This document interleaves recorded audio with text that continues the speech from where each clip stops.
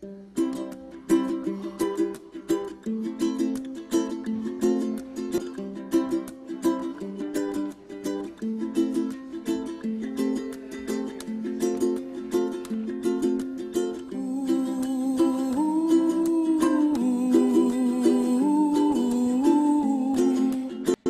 Aprender a dibujar puede servirnos para un futuro profesional, como hobby o simplemente para desconectar y olvidarnos de nuestro día a día.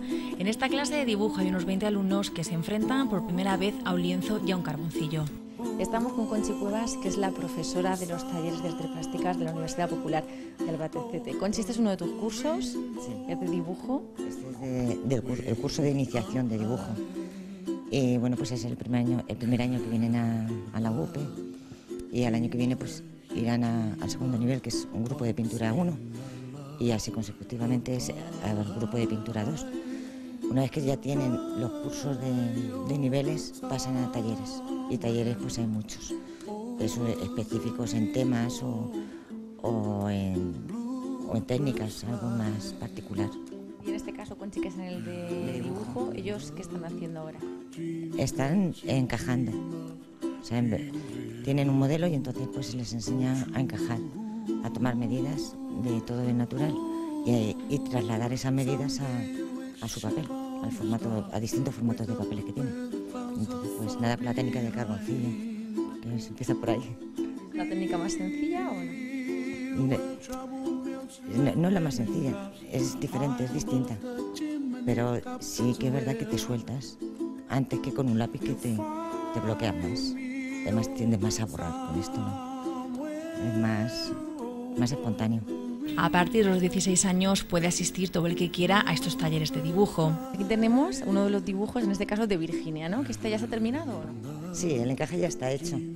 Entonces, pues nada, ella eh, ha medido lo que es eh, la, escultura y, bueno, pues lo ha dibujado en proporción al papel que no no se pretende más, solamente es un, trabajo de línea. O sea que luego más adelante se le dará claro oscuro y, se trabajará más. Ahora solamente es pues eso, lo más básico. ¿Y qué es lo que te ha resultado complicado? Sido muy fácil, eh, a ver, el encaje es lo que más cuesta porque es algo que no, no había hecho nunca. Eh, yo he dibujado y me gusta el dibujo, y, pero encajar lo que es lo que estoy aprendiendo a hacer ahora no lo había hecho nunca. Eso es lo que más me, lo que más me cuesta. ¿Y es la primera vez que vienes a un taller? Sí, sí, es la primera vez. Y me encanta, estoy encantada. me gusta mucho. ¿Te decidiste a venir? Pues porque me gusta el dibujo. Me gusta la pintura en general, me gusta, me gusta todo. Quería aprender técnicas, nuevas técnicas, y cómo hacerlo, porque en realidad yo no había ido nunca a ningún curso y me gusta el dibujo y, y aquí pues la verdad es que muy bien. Arturo es el más mayor de toda la clase, se ha dedicado a la hostelería y ahora que está jubilado, su hija lo ha animado a venir. progresando? Pues algo voy haciendo, aunque no se parezca nada a lo que... y buen ambiente también aquí. Muy, muy bueno, muy bueno. Y gente joven que, fíjate, los dibujos que hacen. Y es que aquí cada uno tiene una razón para venir. Para Alberto el dibujo es un hobby. ¿Cuánto tiempo?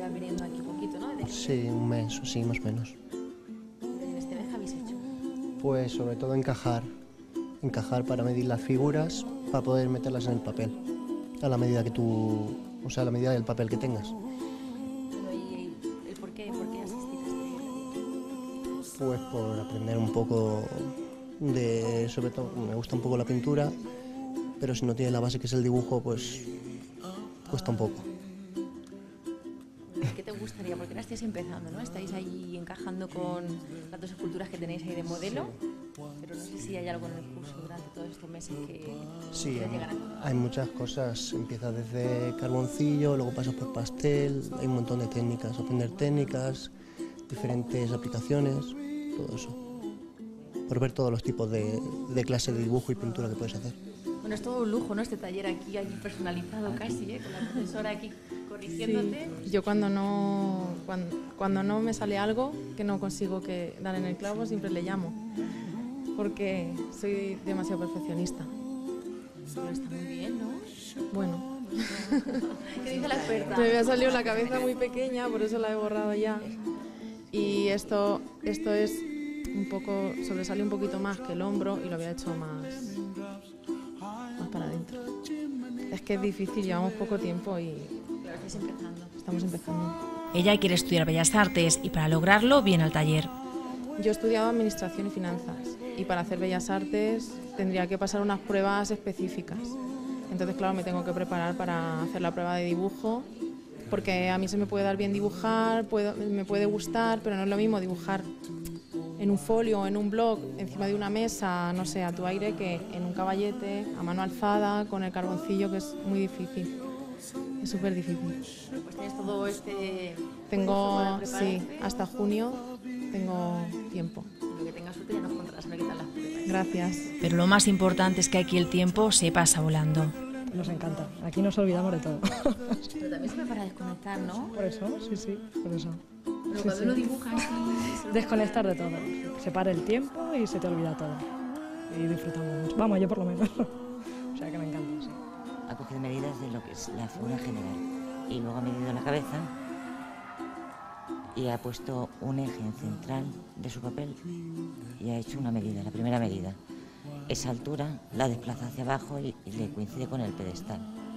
Y la primera parte, que es la primera medida, la encaja con una inclinación.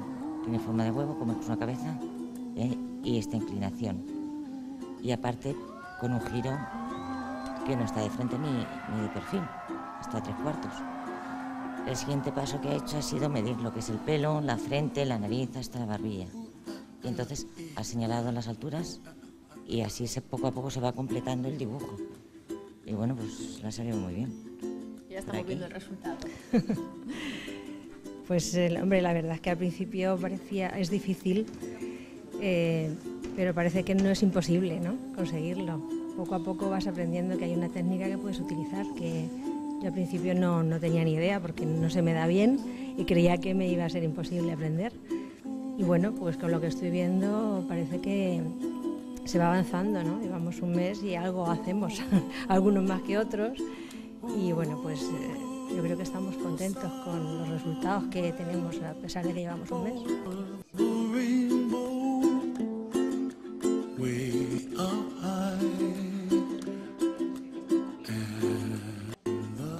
Si el tiempo se pasa volando, el tiempo que dura la clase, pero lo que se aprende aquí no se olvida nunca. No se olvida, fíjate, son, eh, son dos días a la semana nada más, que es de 4 a 6. Y, bueno, pues dedicamos muy poquito tiempo, porque dibujar puedes estar dibujando toda la vida y nunca terminas de aprender. Pero esto son nociones básicas que luego te ayudan muchísimo para cuando empiezas a, pintar o a dibujar o a, a realizar grabados o esculpir. Lo que es coger medidas, no se olvida. Tengo los grupos, de, por ejemplo, de, pintura o de, los talleres, que hace tres años que, vinieron conmigo, siguen midiendo. Y es que te salen los dibujos proporcionados. Si no es muy fácil que te equivoques. Solo se necesita papel, carboncillo y un poquito de paciencia. Lo demás viene con el tiempo.